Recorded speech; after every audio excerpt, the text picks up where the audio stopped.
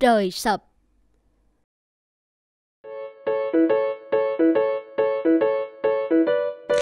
La la la la la la la la Gió mát thế này là một giấc là thích nhất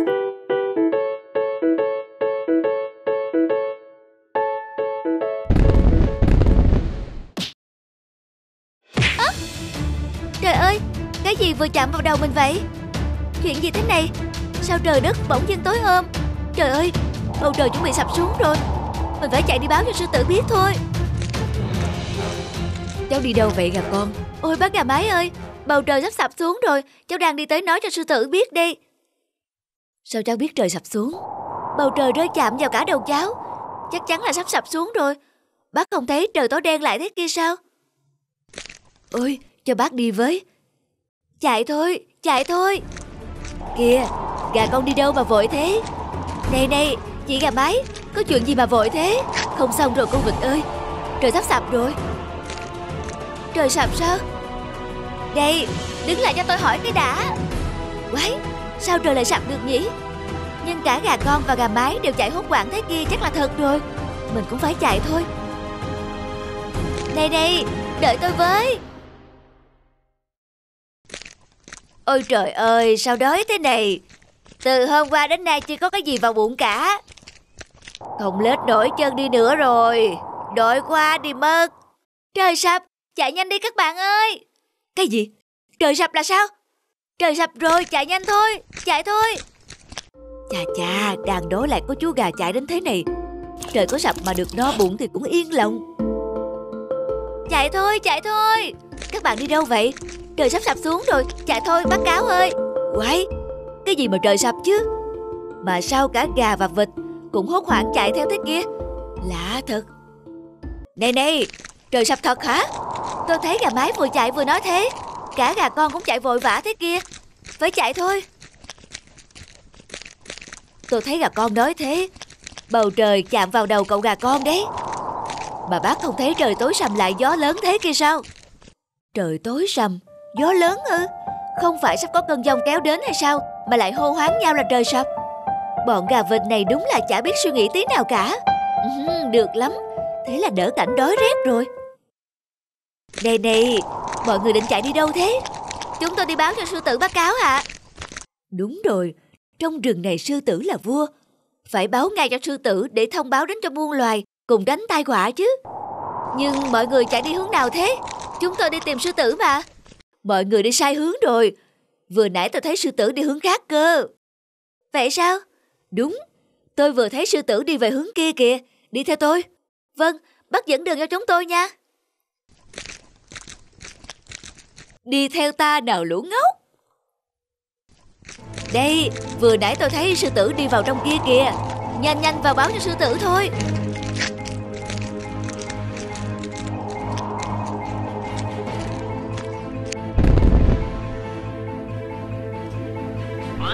À, cứu tôi với Cứu tôi À! Đo bụng rồi. À vô theo người khác mà chẳng có tí lập trường lý trí nào thì xứng đáng là mồi ngon cho ta. Thiên hạ xưa nay vẫn thường dễ chết Vì tin theo lời đồn nhảm mà. Vị danh y và hai người bệnh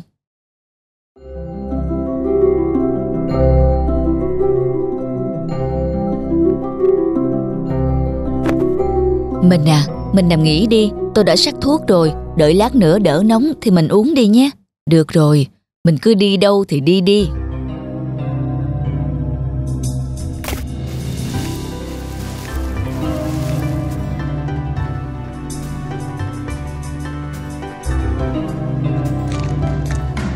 Ông ở nhà nhé Tôi sang làng bên viếng đám ba một lát. Ai mất thế hả bà? Là anh dần đó Rõ khổ Còn trẻ thế mà. Trời ơi Bà nói sao? Anh dần làng bên mất rồi ư? Phải Rõ là Chỉ có cảm tả sơ sơ mà cũng đi luôn đấy. Không thể nào. Ông Có chuyện gì thế? Tại sao tay chân ông lại rung bắn thế kia? Mấy hôm trước Chị vợ anh dần có đến tìm tôi bí mật cắt một thang thuốc để hạ độc anh ta. Trời ơi, ông, chẳng lẽ ông đã giúp người vợ xấu xa đó? Không, Sao tôi có thể làm cái việc tày đình ấy cơ chứ? Tôi làm thầy thuốc là để cứu người. Vì chị ta nài nỉ quá, tôi đành gật đầu cho qua thôi, chứ thực tình tôi cắt cho anh dần thang thuốc bổ. Vậy tại sao chồng chị ta lại... Tôi, tôi cũng không thể nào hiểu nổi. Giờ xem lại thang thuốc vẫn thấy toàn những vị giúp bổ tỳ ít khí thôi, chứ không thể gây chết người được. Hay là anh ta vốn dĩ mang bệnh trong người? Không, nếu mang trọng bệnh thì anh ta cũng không thể chết đột ngột như vậy được. Thôi mà ông, tấm lòng với người bệnh của ông trước nay như thế nào á ai chẳng biết. Ông đừng nghĩ ngợi làm gì nữa, chắc là cái số mệnh anh ấy chỉ đến được đó thôi. Không nghĩ ngợi sao được chứ, tôi dù ít hay nhiều, muốn hay không cũng đã liên đới đến cái chết của anh ta rồi.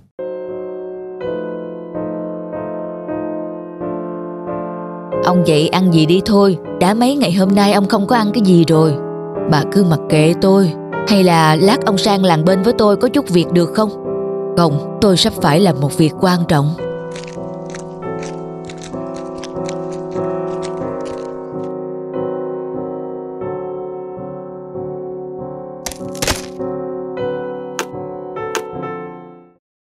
Tôi hành nghề y thuật đã 40 năm nay và chưa từng dùng nghề y thuật của mình để hại người khác. Nay bỗng dưng có tai ương giáng xuống làm tôi mang vị thế kẻ giết người. Xin thần song chứng giám nếu chùm chìa khóa này trở lại với tôi thì tôi tiếp tục làm nghề, còn nếu không, tôi sẽ không bao giờ bóc thêm than thuốc nào nữa.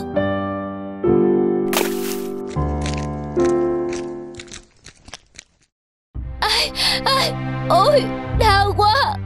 Ai, ai, ôi, đau quá. Ôi, đau quá. Làm thế nào bây giờ? Con đã đi tìm xung quanh đây, không ai dám đến chữa bệnh cả. Vậy hay là anh sang bên kia sông Nhờ vị danh y bên đó xem sao Nghe nói đã hơn một năm nay ông ấy không chữa bệnh rồi Ai, ai, ôi, đau quá Thôi để con sang bên đó cố gắng thuyết phục thầy xem sao Xin mở cửa ra, cứu với ạ à. Dạ, xin hỏi thầy thuốc có nhà không ạ à? Vợ cháu đang nguy kịch lắm Ông nhà tôi đã hơn một năm nay không chữa bệnh rồi Xin bác vào nói với thầy giúp cháu với ạ à. Vợ cháu đang đau đẻ Mà nhất định không có thầy nào dám đến khám ạ à. Thôi để tôi vào nói với ông ấy xem thế nào đã nhé Nhưng chắc là sẽ khó đấy Ông ơi, ông dậy đi Có một cậu thanh niên đến nhờ ông cứu giúp vợ anh ta kìa Tôi đã nói với bà bao nhiêu lần rồi Sao không nói luôn cho người ta hiểu Thôi, lấy cho tôi chậu nước rửa mặt đi Hả? Lấy chậu nước đổ vào mặt ư?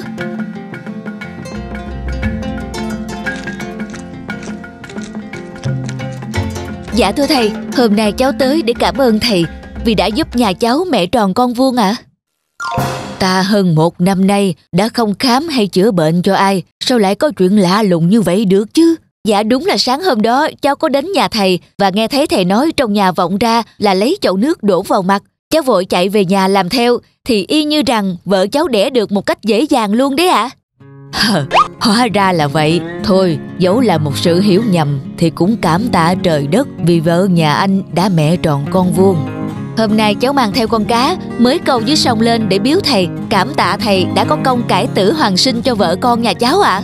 Thôi, tôi nhất quyết không nhận đâu.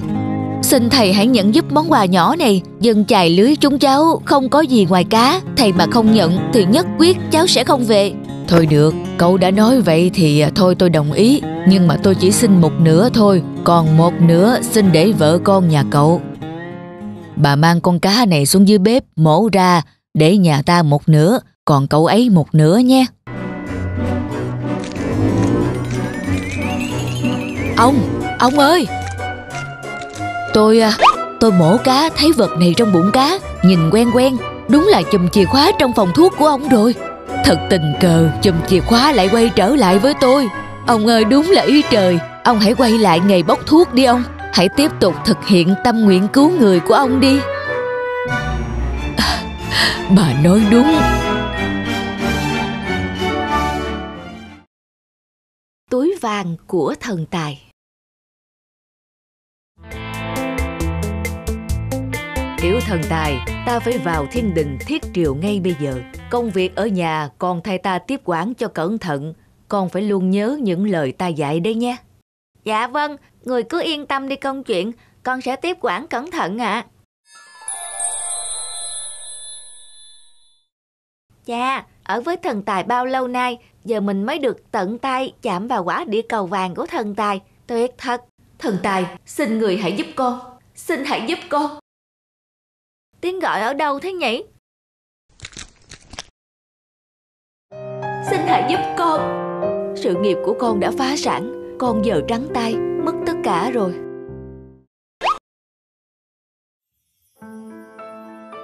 Mùa vụ thất bát thế này, con biết phải làm sao đây cơ chứ? Thần Tài, thần Tài ơi, nếu ngài có thể nghe thấy lời con, xin ngài hãy giúp con. Bao giờ con mới thoát khỏi cảnh nghèo đói này thưa thần Tài?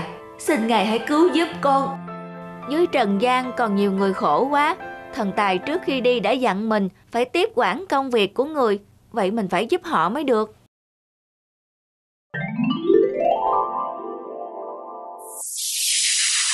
Hả? Là vàng ư? Thần tài, là ngài ban cho con sao? Con cảm ơn ngài. phải chăng thần tài đã nghe thấy lời con nói? Chuyện này rốt cuộc là có thật sao? Có những túi vàng này, chắc chắn mọi người sẽ không còn phải khổ nữa rồi. Dạ thưa thần tài cho gọi con. Hôm qua ta đi vắng, con đã thay ta giải quyết những việc gì rồi? Dạ thưa người, hôm qua con thấy có ba người hoàn cảnh khó khăn quá, nên con đã dùng vàng của người để giúp đỡ họ. Vậy ư, sao con lại dùng vàng gửi đi tùy tiện như vậy chứ? Ờ, ừ, ừ, dạ, con thấy họ khó khăn nên muốn giúp đỡ cho họ mà. Thôi được rồi, vậy giờ theo ta, xem kết quả con đã mang đến cho họ như thế nào. Nhưng mà mới có một ngày thôi mà, thương người, chúng ta nên chờ thêm một thời gian nữa chứ ạ. À? Con quên à, một ngày ở đây bằng một năm dưới hạ giới. Chào ông, năm qua ông sống thế nào? Dạ, là thần tài ư? Ừ, con chào thần tài, con hiện nay sống rất tốt ạ. À? Ông đã sử dụng túi vàng của ta như thế nào? Dạ, trong lúc khốn khó, gia sản mất toàn bộ, được người ban cho túi vàng con đã dùng một phần để trả nợ, số còn lại con dùng để gây dựng lại sự nghiệp. Con đã rút kinh nghiệm của thất bại lần trước, nên lần này công việc rất tốt ạ. À. Giờ con đã có hai cửa hàng vải lớn nhất thành phố. Con ngàn lần cảm tạ thần tài, cảm ơn túi vàng của người. Vậy là túi vàng nhỏ ấy đã giúp ông ta thay đổi được vận mệnh. kia chẳng phải là người ăn xin mà con đã giúp cho vàng sao? Ta đã cho ông một túi vàng theo đúng ước nguyện của ông. Vậy sao giờ ông vẫn đi ăn xin là sao? Chính là vì khi nhận được túi vàng của ngài ban, con đã rất phấn khởi. Con đã vào thành phố xây một cái nhà rất sang trọng, thuê nhiều người làm, hàng ngày ăn sơn hào hải vị, vui chơi lưu bù. Ai ngờ, sau đó tiêu hết vàng, bán hết nhà, con lại phải đi ăn xin. Sao lại thế được nhỉ? Sao túi vàng ấy lại chẳng có tác dụng gì cả cho ông ta vậy? Chúng ta cùng tới nhà ông nông dân còn lại xem sao thương người. Đó chính là người nông dân mà con đã cho vàng. Tại sao ông ta lại chết sớm vậy? Con chào thần tài. Thần tài đến thăm con đấy ư. Tại sao con lại chết sớm như vậy? Cũng chỉ vì túi vàng thần tài đã cho con. Vì túi vàng? Tại sao lại như vậy chứ ạ? À? Sau khi có túi vàng, con đã cất giấu nó đi mà không dám dùng, sợ dùng hết rồi lại nghèo. Nhưng nếu làm vốn để kinh doanh, con lại không biết buôn bán gì hết. Con còn sợ kẻ trộm nên suốt ngày không dám đi đâu để lo canh giữ. Chẳng được lúc nào vui. Cứ như vậy, con chết đi trong lo nghĩ buồn bực. Thậm chí đến bây giờ con vẫn chưa dùng túi vàng ấy. Không ngờ mọi chuyện lại xảy ra như vậy. Tại sao cùng một túi vàng mà lại mang đến những kết cục khác nhau như vậy chứ? Giờ thì con đã hiểu vì sao ta nói không nên tùy tiện phân phát vàng chưa? Thực ra túi vàng của ta không thể giúp đỡ họ. Mà chính họ mới là người giúp chính mình, phải không thưa người? Đúng vậy, chỉ có nghị lực của chính người đó mới giúp họ thay đổi số mệnh của mình. Vì thế, khi con ban phát may mắn tài lộc cho ai phải dựa vào phẩm chất ý chí của họ con hiểu không dạ con hiểu rồi ạ quy luật xe rác Chiều phải đi công tác mà báo cáo cô chưa chuẩn bị xong. Như vậy sao có thể gặp đối tác đây? Thưa sếp, em đã in và nhờ chị Hà gửi lại cho sếp. Chắc có sự nhầm lẫn nào đó rồi ạ. À? Không làm xong còn đổ lỗi cho người khác. Cô nên về hoàn thành công việc để kịp chuyển công tác. Nếu không tôi muốn nhìn thấy lá đơn xin thôi việc trên bạn vào tuần sau.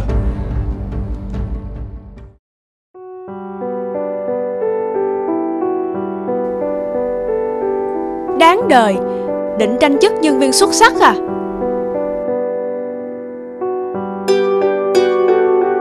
Chị ơi, hôm qua em có việc về sớm. Nhờ chị in và nộp báo cáo cho sếp sao? Ồ, trời ơi, thôi chết. Chị xin lỗi. Hôm qua chị cũng bận nên quên khuấy mất. Quái lạ, sao chị ấy lại có thể quên được nhỉ? Hôm qua trước lúc về Chị ấy rất nhiệt tình nói Nhất định sẽ giúp mình cơ mà. Chả nhẽ lại định chơi xấu mình. Mà chắc chắn là như vậy rồi.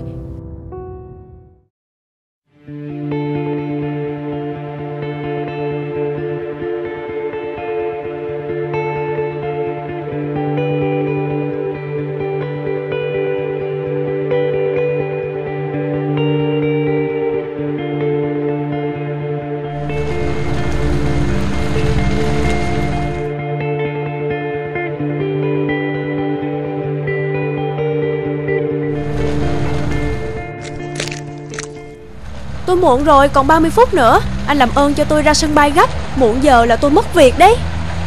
Tôi sẽ cố gắng. Anh không đi nhanh hơn được hay sao ạ? Mà lúc trước có mấy cái xe vượt đèn đỏ. Sao anh không đi theo? Chỗ đó cũng không có cảnh sát giao thông mà. Cô cứ bình tĩnh trong 30 phút Tôi sẽ đưa cô đến nơi đúng giờ và an toàn. Tôi không thể coi thường tính mạng của mình Và của khách hàng được.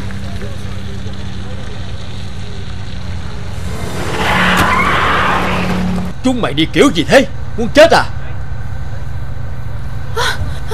Sợ quá, suýt nữa thì chết. Mà anh cũng thật lạ Không chữa cho thằng cha vượt đèn đỏ ấy một trận. Anh hiền quá đấy. Phải như tôi á, tôi cho một trận rồi. Cô không sao chứ. Người không sao là tốt rồi.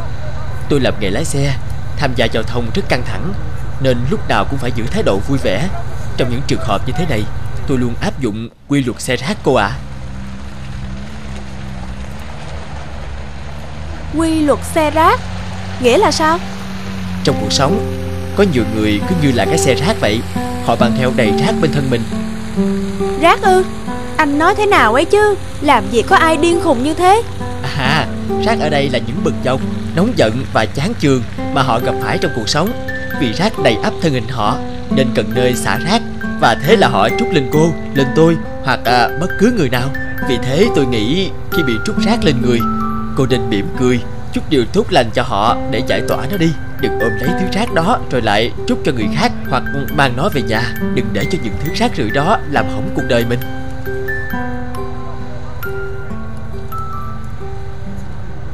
Cảm ơn anh. Anh đã cho tôi một bài học đáng quý đó. Đúng là phải trút bỏ mọi thứ rác rưởi khỏi bản thân. Alo, Hà xin nghe. Chị Hà, em Mai đây Lúc nãy nhân viên IT có đến Cài lại Win cho máy chị Lúc chị không có ở đó Em đã cóp bản kế hoạch của chị Và để ở USB trên bàn của em Em báo lại để chị không lo lắng. Ôi, thế à? Chị cứ tưởng mất hết rồi chứ. Cảm ơn em nhiều nhé. Vâng, em chào chị.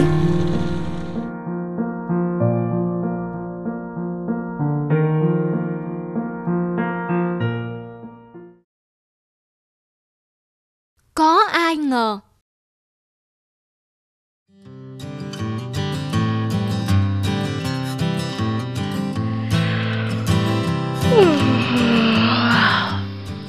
Hả? Gì thế này?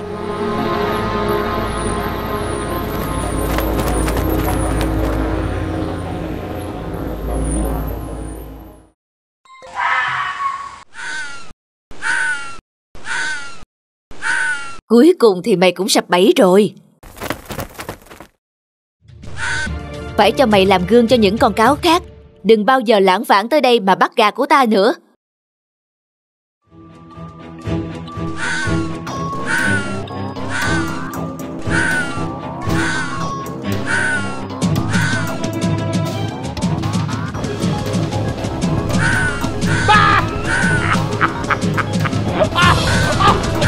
Chạy đi Chạy về cho bạn bè mày thấy bộ dạng của mày bây giờ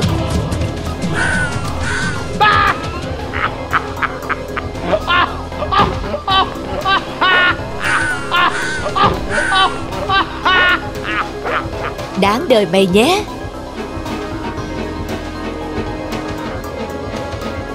Hả? Sao lại thế này?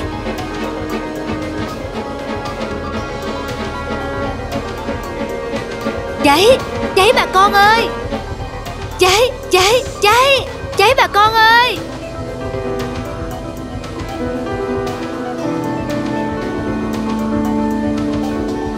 Thế là mất trắng cả vụ ngô rồi. Có ai ngờ